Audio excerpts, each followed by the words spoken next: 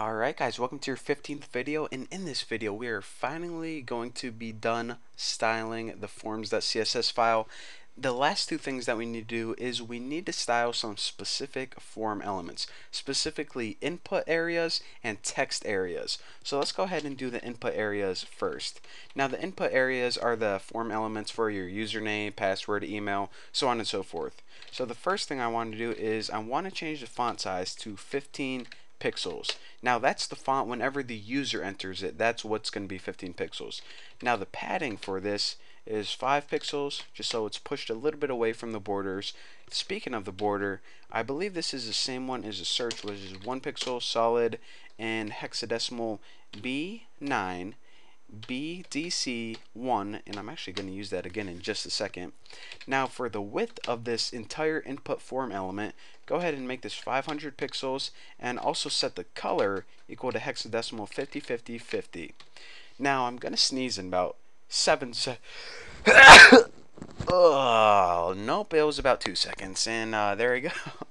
So anyways, just mind you that the color and the width of all this, this is the color whenever the user enters text. So, you know, just don't forget that.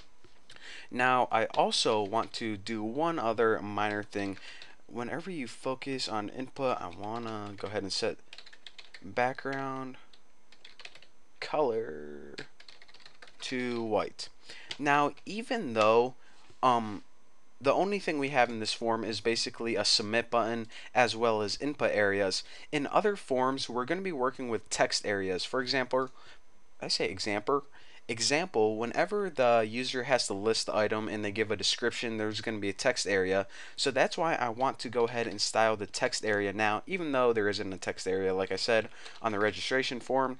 So let's go ahead and set the font family Arial and the height of this is going to be 150 pixels. Um, the width time to start stealing stuff. The width is 500 the font size is 15 padding 5 thank you input areas. Thank you copy and paste. And for the border thank god I don't have to copy that. Is that and for the color wow, you know the only problem with this? It's a little bit too easy. So we got font family, height, width, font size, padding, border, and color. Specifically, the height, this is the only thing that we may want to uh, change a little bit. I have to see whenever we're working on our list item page how tall this is. But anyways, we'll, uh, what's it called? Cross that bridge when you come to it? Something like that. But anyways, that is all we have for the forms.css. Now the last little thing I'm going to do is I'm going to go all the way to the bottom and clean up clean up all these blank lines because you don't need blank lines if you don't need them. There you go. So that is it. In the next tutorial, what we're going to be doing is we're going to be coding one last CSS file. And you're saying, what the heck do we have left to uh, code? That is the CSS specific to this register page right here.